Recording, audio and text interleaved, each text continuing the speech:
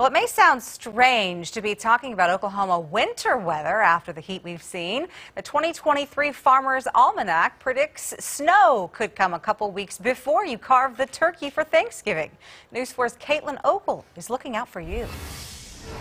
If you want to know what the weather's going to be for a, a wedding next year, a party, a, a vacation, take a look at what we have to say. Editor of the 2023 Farmer's Almanac, Peter Geiger says we may see snow in the middle of November and a cold end to December. January may be the coldest and stormiest month of the season. I don't think to the degree that you've had the last couple of years, but I, but it's going to be a you'll be you'll feel your cold spots. Geiger says they predict the weather two years in advance. And it's not by judging how furry caterpillars are or cutting open a persimmon seed. They look to space and a formula originally adapted in 1818 by the founder. How the sunspots move or don't move impacts weather.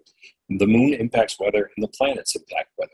But I would say the moon and sunspots in particular. The farther it is, the harder it is to get that exactly where you want it to go. It's kind of like throwing darts. If you're right next to it, it's easy. If you back up, you might be a little bit further off. News 4's Aaron Brackett says meteorologists have a different approach, using satellites and new technology to predict the forecast. So we're in what's called La Nina right now. It means sea surface temperatures thousands of miles away are cooler than average. That actually has a bearing on Oklahoma weather, and historically that means a drier and more mild winter. While Brackett says it's ambitious for the almanac to predict the weather two years out, the editor says they're sticking to their methods. As I'm told, we're 80% accurate. I think sometimes we're less and sometimes more, but I think we do a good job. Caitlin Ogle, Oklahoma's News 4.